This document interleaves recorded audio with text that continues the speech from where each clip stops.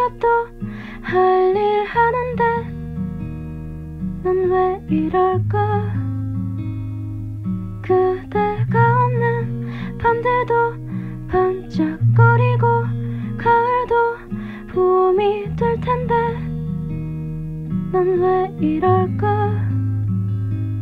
왜 사는 걸까? 할 일 오늘도 꽤 많았지.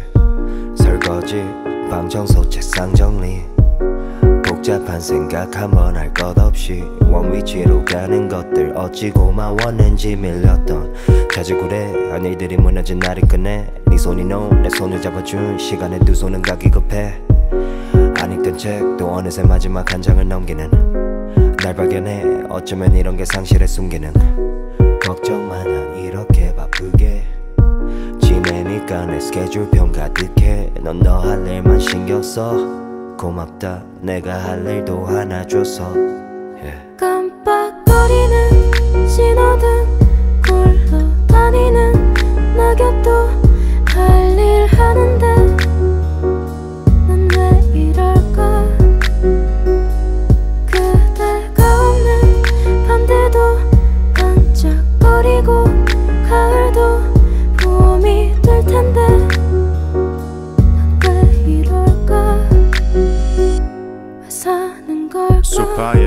누워서 TV를 켜 벌써 30분째 꾸준 채널만 돌리면서 던져둔 폰에 울리는 전화벨 소리 누구든 상관없지 약속 잡고서 밖에 나갈 준비를 해. 지금은 11시 반 예전에는 잠들 시간. 요즘은 여기저기서 불러 불려 다니지. 난 바쁜 일상. 오랜만이라서 반가워. 정신없는 하루. 불안정함이 나타워. 이렇게 써도 항상 남는 게 시간인지 감정인지 오늘과 같을래?